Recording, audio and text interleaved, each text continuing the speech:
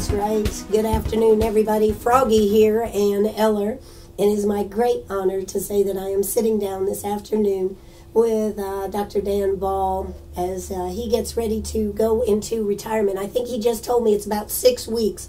I was surprised that he didn't have it down to the days, the hours, and the minutes.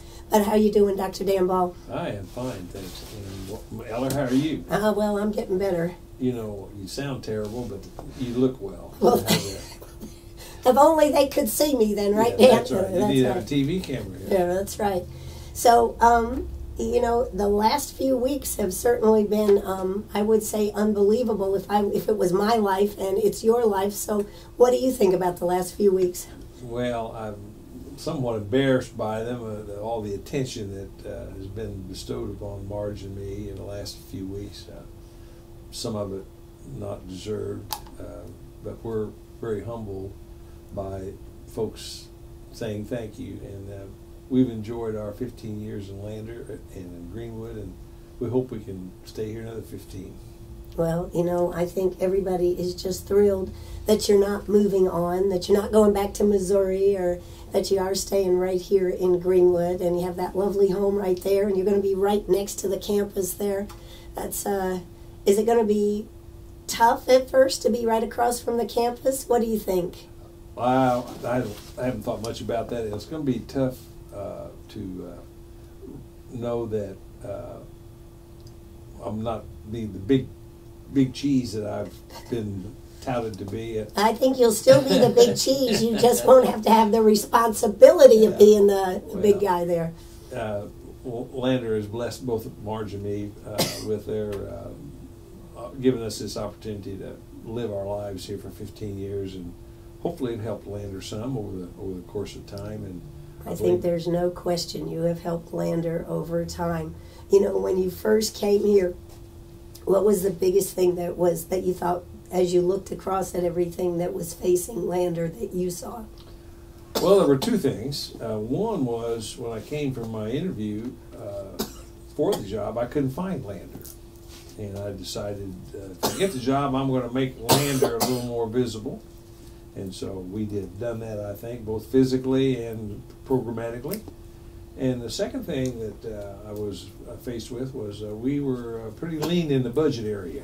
And uh, I committed to addressing that over the years and getting some reserves for our campus, and we have that now. So those are two early on projects. Well, you certainly made a difference. excuse me. On the entrance and the budget to be able to have a rainy day fund established now in this economy is pretty awesome. Well, uh, it, wasn't easy, and a lot of people uh, contributed to that uh, goal. Uh, our faculty, staff, and students, and austerity and efficiency and uh, uh, new programs all contributed to helping us financially. So enrollment grew. That helps also. Absolutely. You know, the other thing you were telling me, though, there's all the big things, but there's the small things that are some of the things that you're most proud of, too. I think that's true. I, you, you, uh, you can see an entrance, or you can see a building, or a new street, or even a new program.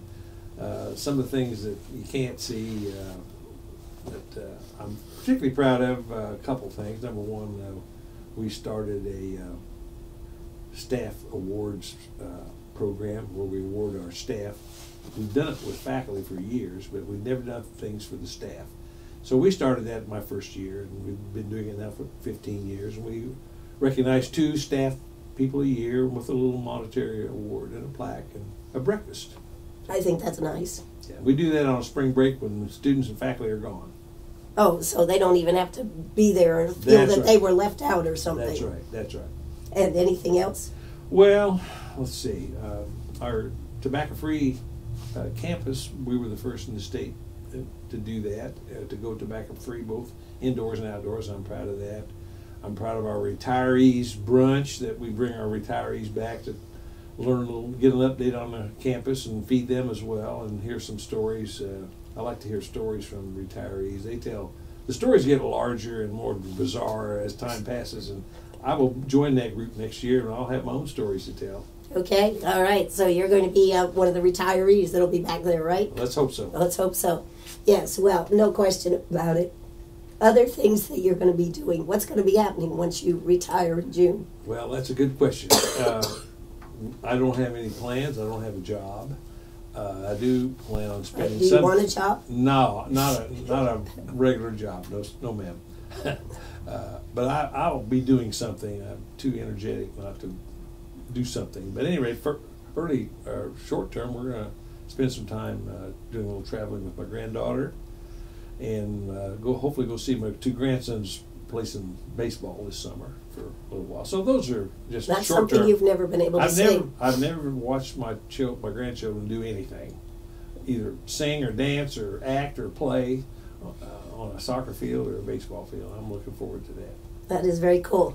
Well, you know, um, there's a lot we're going to be talking about. We've got uh, so many things from the Palmetto Award that he got to, uh, I don't know, we're going to talk about Marge. We're going to be talking about whether she can allow him to stay home. But a lot of things I want to ask him, but first I need to get rid of this frog. Let's hear a quick word from our sponsors, and we'll be right back. That's right. We're right back here. Froggy here Anne Eller with Dr. Dan Ball this afternoon. You know, um, I was interested in reading the article about you that is in the Lander magazine, and it uh, talks about your passion for education. It says in 2001 inaugural address, you said, um, Lander will never yield to the temptation of many who want to graduate without an education. And just to find out that that's what Reverend Lander's message to prospective students was those who desire graduation without education need not apply. I thought I said it a little softer than Sam Lander did, but it's essentially the same message. That's Correct. true. That's true. I tried to do my homework before I got the job, and uh, that was particularly poignant for me to see see that because I heartily believe it in maintaining the integrity of a degree. The baccalaureate degree has been um, challenged, has been attacked, it has been, um, I, in my words, watered down some in some places, but not at Lander. Not as long as I'm here. Well, um, you know, when you talk about that and you talk about the four year education, and they're talking so much about the two year and the getting into manufacturing and, and the jobs. I was just reading an article that um, I think Governor Hodges and the former treasurer had done a study that we could be, what, by 2030, 115,000 workers shy of having competent, capable uh, labor force. What do you, what do you see as far as the possibilities of the four year versus the two year? Where do they all come together? They're both needed. Uh, I would say that uh, short term, the two year uh, training preparation for immediate jobs, uh, it, it, we need to have that uh, capability and we need to retrain people that uh, as jobs change. The difference uh, that I see with the baccalaureate, the four year degree, is I, I'm a believer that the four year degree prepares you for many jobs. Uh, you, your, your, your major, whether it be chemistry or biology or teacher ed or business, prepares you for your first job. And then your general education, the English and the history and the math and the cultural stuff pre- prepares you for every other job that you might uh, face uh, in the future. It also prepares you to be a better citizen. Not that a two-year degree does not do that, but I think it, the baccalaureate is designed to make you a better citizen, a better parent, a better voter, more knowledgeable decision maker, and a leader. Uh, so leadership uh, is more attached to a four-year degree than a two-year. How so by um, by voting and everything, Diane? I, you know, I talk to lots of students about politics and such, and I find them actually kind of lacking in knowledge. In fact, so many of them tell me I didn't register to vote because I don't feel I know enough to be able to vote. That uh, attitude or that response that you hear like that starts at, uh, at the ho- in the home, Mhm. and uh, I believe that uh, your attitudes and your work ethic and your uh, your integrity start at home. Mhm. Uh, I agree with that. And uh, the uh, when you're 16, 18, 20 years old, those skills and knowledge are sharpened by going to post-secondary education. Sure. And so, um, But I mean, We're I'm talking about college students. Yes, college yes. students. I'm not talking about kids or anything. well, I, you know, uh, college students, they, uh, they uh, legally are adults when Yeah. they're 18, but Right. there's still some chil- childishness in, in our 18, 20 year old people. And we hope that college, whether it be two year or four year, matures that a little bit. Uh, students want structure. They really want structure. They won't admit that. And I probably shouldn't be talking about this on the air, but uh, because if you have structure, they're going to try to get around it. But, that's, Sure. but if you don't have any structure, it's bedlam. Well, you know, I think isn't that one of the advantages of a Lander because it is a smaller school. I think I've heard it. You cannot hide at Lander. Yeah, that's that's true, and uh, that's one of the virtues of a smaller university. Uh, we we uh, depend on our students' uh, success for the campus to be a success. Some institutions in this country do not have to depend on students to be successful.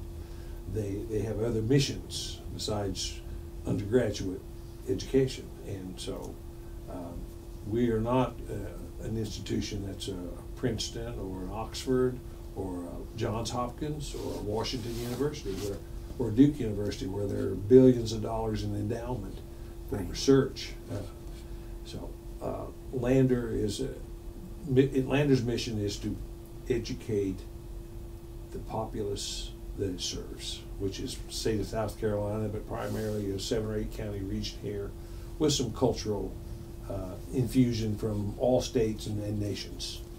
You know, speaking of that, Dan, the program that you had with um, going to Korea and bringing students the exchange program, and the doctor that was here, what? Dr. J. Park. yes, Dr. Yes. J. Park. Yes. Um, that was an innovative program for Lander. It was, and uh, still thriving. Uh, we have more international students now than we've ever had. We have over a hundred. We have mm, about half of those are from Asia. The other half are from all over other countries. We have students from like 26 or 28 countries, but a big chunk of them come from Asia. Now, how are you doing at getting uh, Lander students to go overseas?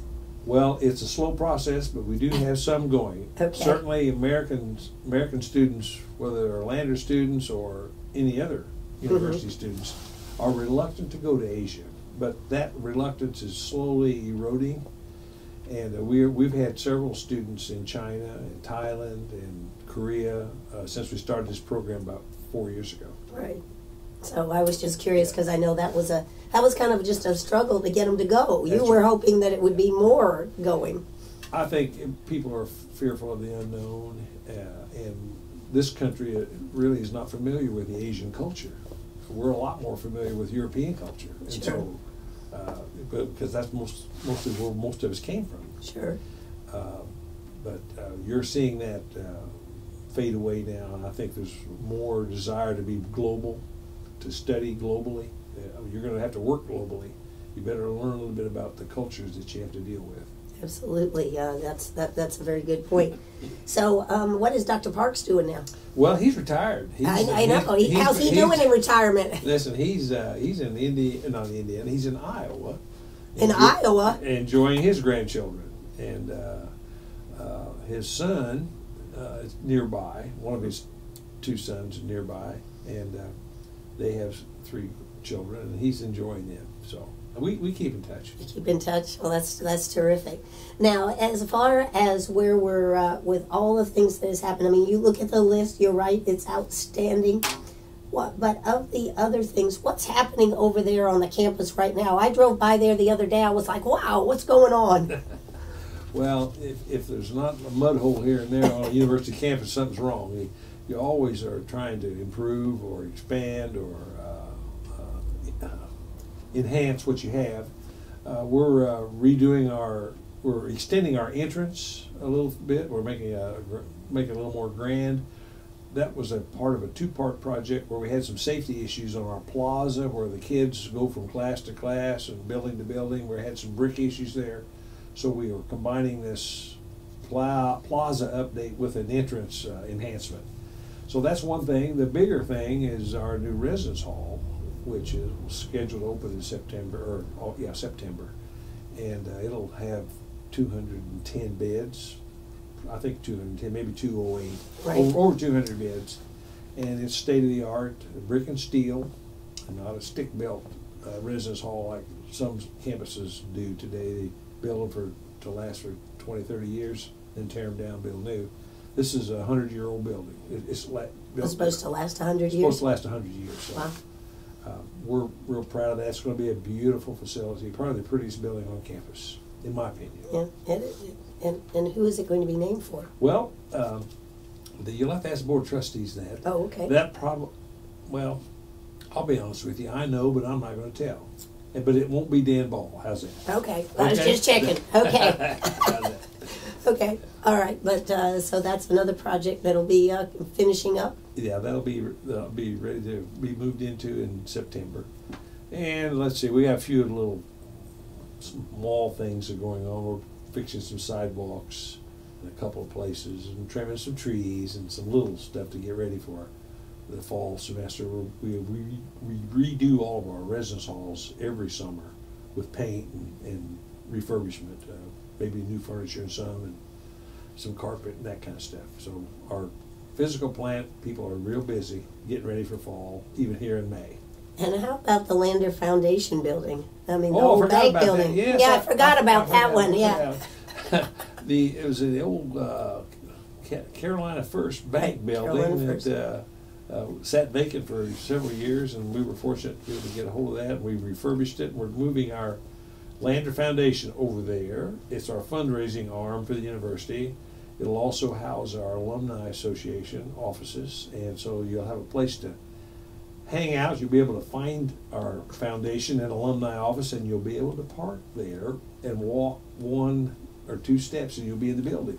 No, that's a good thing, right? That, that parking is the great thing for people that uh, have to hunt for parking spots, let alone have to walk. Yeah. Uh, so anyway, that's a nice addition. It's open right now. Yeah, I know. We moved in this week and last week. last week. Yeah, I mean, it looks fabulous. Looks fabulous. Thank you. Saw Charlie Barrineau out there taking pictures the other day. I'm sure he posted Good them on him. Facebook. Yeah. good for So it looks good. Yeah. It looks nice. It's nice to have something in that building. Jeff always said that was one of the prime pieces of property right here in Greenwood, right there on that little triangle right there. Yeah, it's a good piece. We're fortunate to have right across the street will be built our new Montessori Education Center, uh, the, Virgi- the Virginia South Montessori Center, and it would be a national center. We Is that are- where the Coleman? That's where Coleman Hall Hall was. was, The seven-story ugly albatross is now gone. Charlie has thanked me numerous occasions for that, on numerous occasions, and we're going to build a, a nice facility there in the next couple of years. Wow.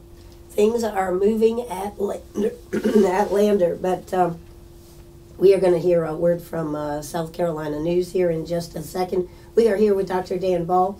You know, when we come back, we got to talk a little bit about Marge Ball. I tell you what, she has gotten awards this year, and she is such an integral part of this community. You are so lucky, Dan Ball. I know that. Okay, good. I just thought I'd say that. Are you listening, Marge? I got him to say it right here on WCRS. Hey, I'm Anne Eller. Let's hear uh, South Carolina radio news, and we'll be right back. Arg, are you a pirate or a pack rat? Do you have a vacation of a lifetime sitting in the attic? Or a college tuition hung on a wall? Or is a fabulous retirement hidden in your jewelry box? Bring those items to Sharp Facets Gallery. We can establish value and buy from you or sell for you. And so ends another chapter at Sharp Facets Gallery. 72 Bypass and on the web, sharpfacets.com. Well, you know, I'm right back here. I'm Anne Eller, right here with Dr. Dan Ball. You know, I was thinking, Dan, you know, Cicero wrote this book about a life well lived. Mhm. Yeah, you know, I, I think you could almost say that about you and Marge, a life well lived. You were telling me um, earlier how wherever you went, you always made it a positive in the community that you were living in. You never approached, what were you telling me? Well, you know, I've never tried to uh, tell people, well, this is the way we did it back home, or we did it this way at that university. We accepted who this community is.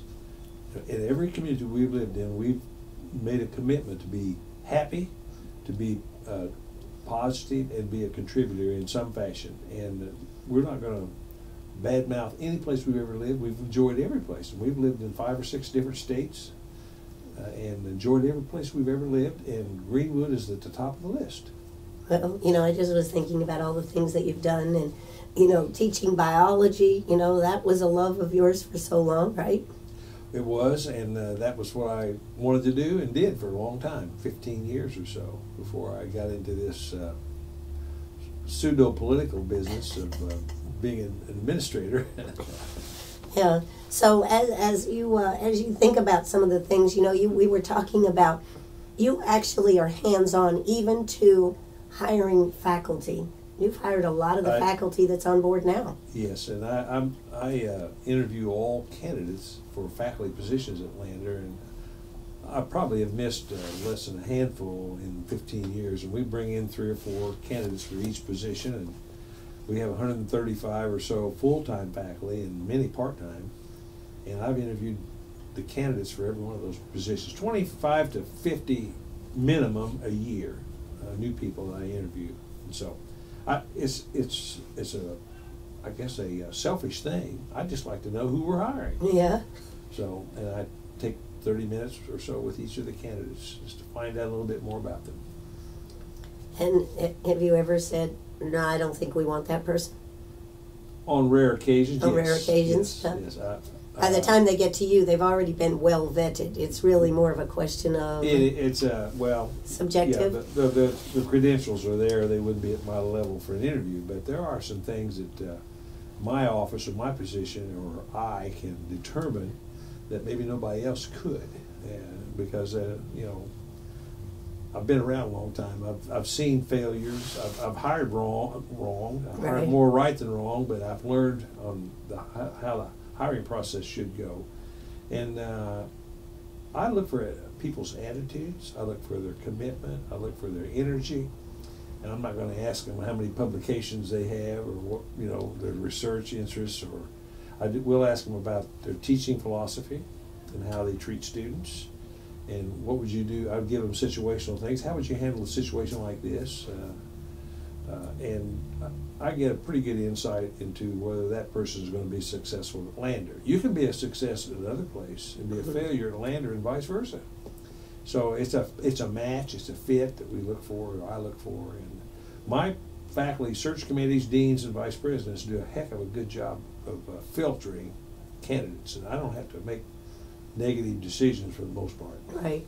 But you do like having to uh, be able to put your your uh, okay on it, right? And be your say, stamp I- of approval. Just say I've interviewed these people. I know who they. I know a little bit about them, uh, besides what you can read on a piece of paper. Absolutely.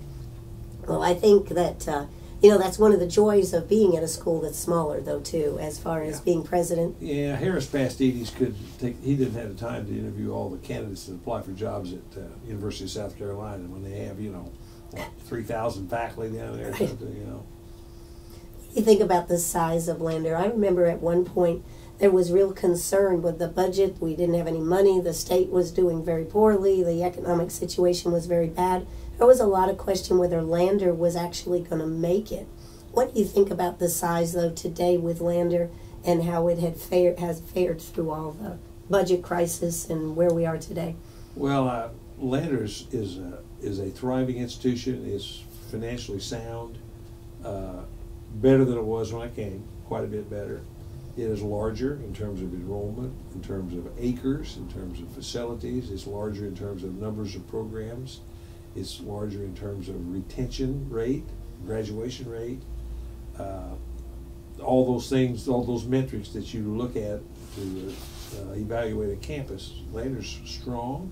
It's going to be here for a long time. Well, that's a good thing. We like that here in Yeah. Greenwood, but you know, but I do remember a time where it was kind of shaky. Sure. Yeah, it was. And it's good to hear that it has uh, gotten in good shape. Now, the first lady of Lander is Marge Ball.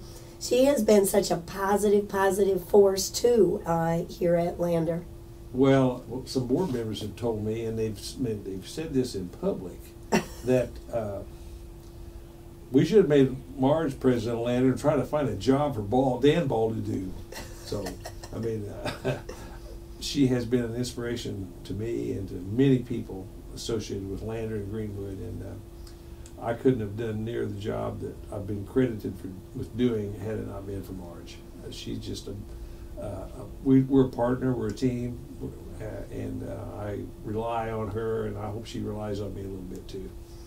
Well, I, I know she's relying on you not to be at home every day so she can do what she does without interference, correct? I suspect that's correct. I would never admit that on radio. Okay, don't ever admit that on the radio, Dan Ball.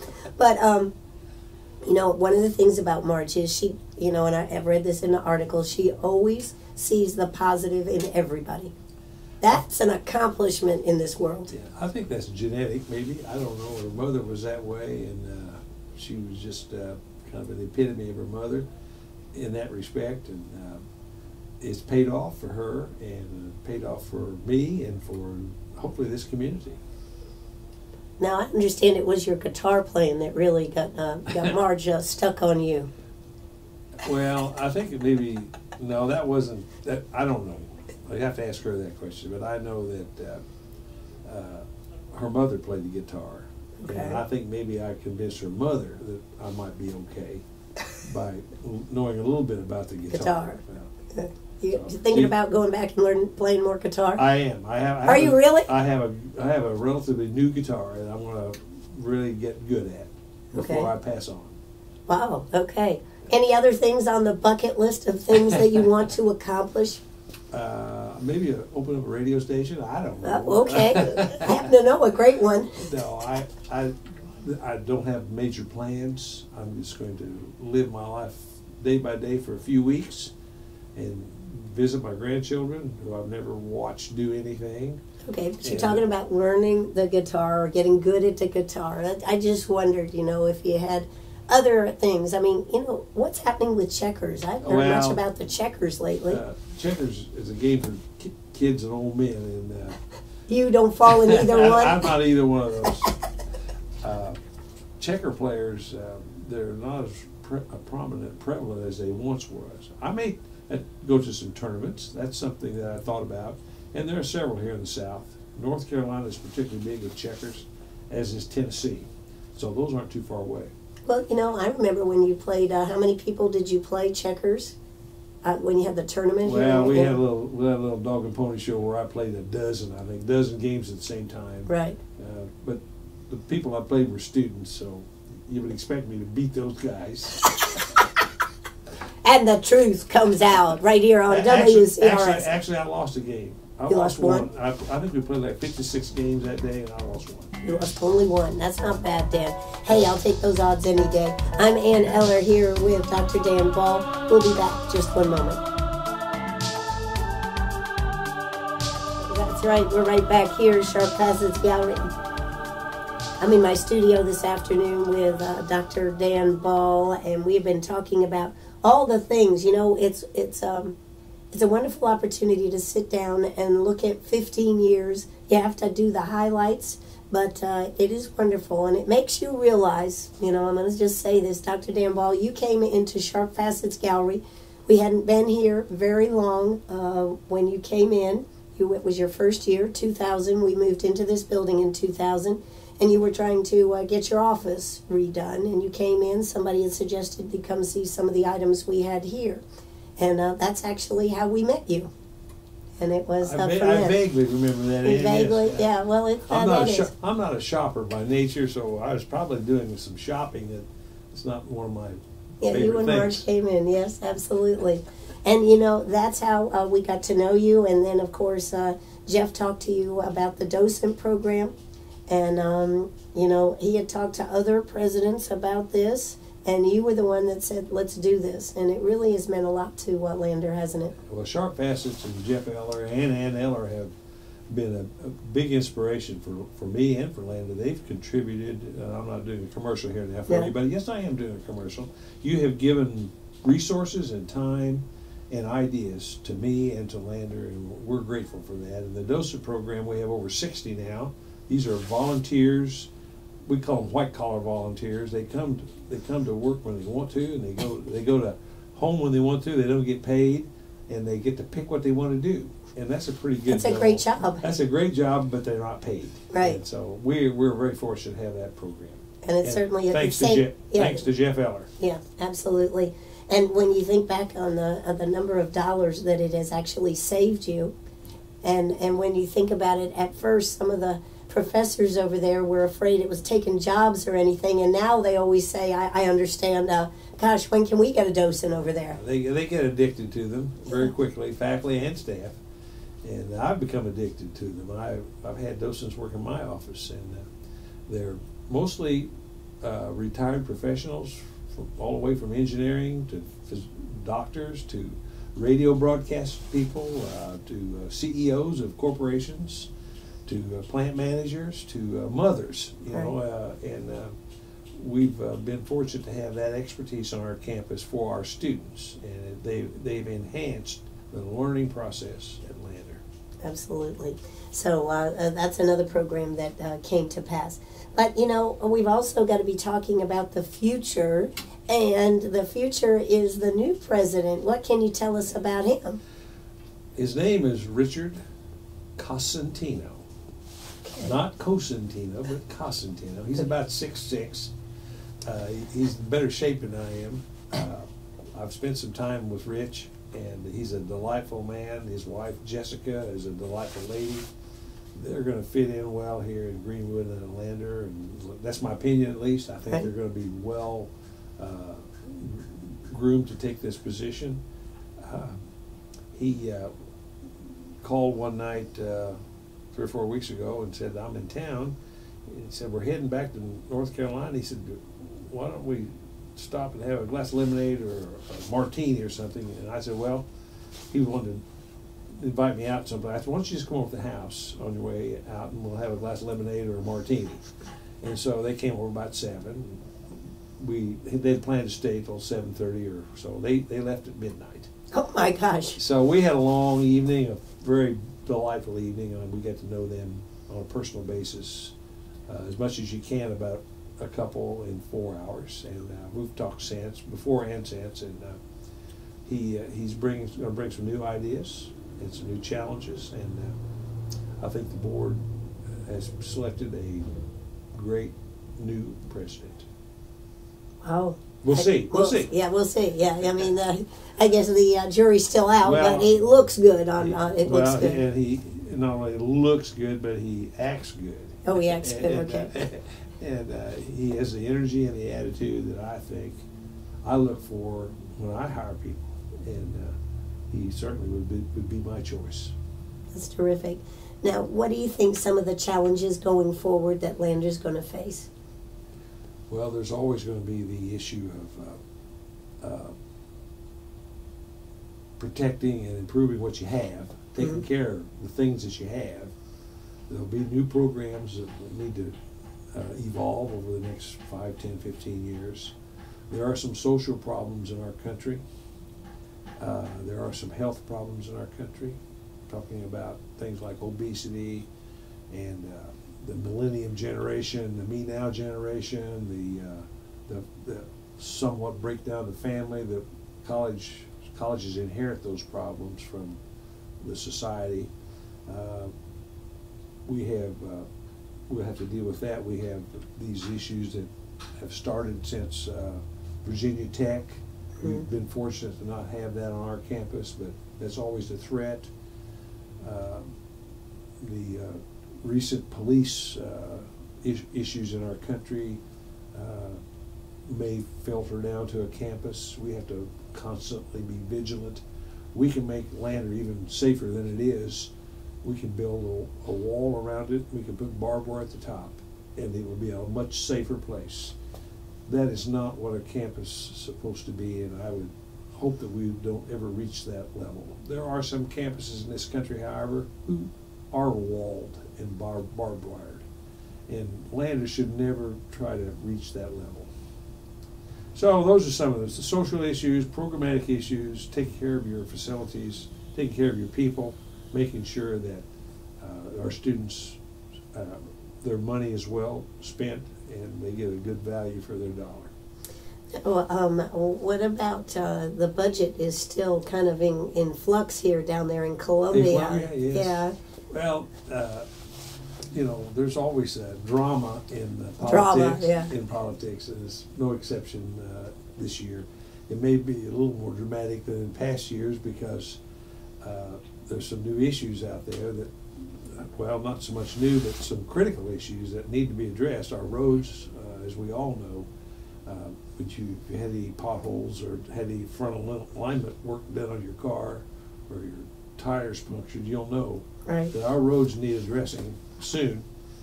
Uh, we have the, some of the worst uh, traffic fatalities uh, record or statistics in the state or the nation.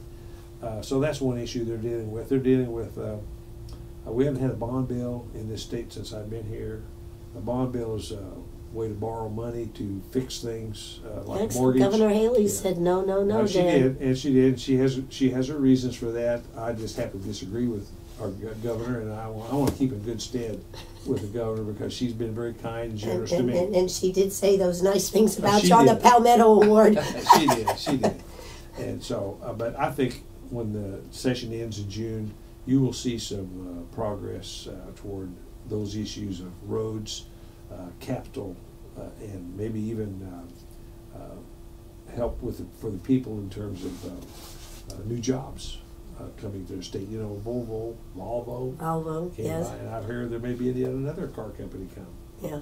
Well, you know, we we certainly are well positioned if we can. And then the other issue is well, the infrastructure, the roads and bridges, et cetera. And then there's the people structure. That's right. we got to be able to have the people that can do the jobs.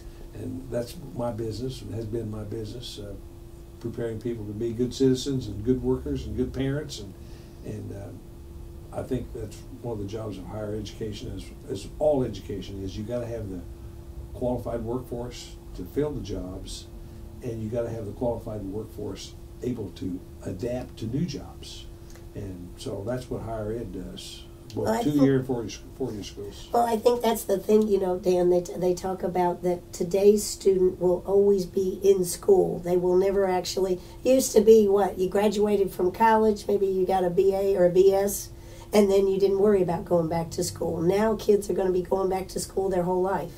Well, there'll be uh, new technologies, and new uh, ideas, and new products that come along that require a, a new More knowledge. training, new yeah. knowledge, and uh, I mean, I've gone to school. I've been, I, I still go to school.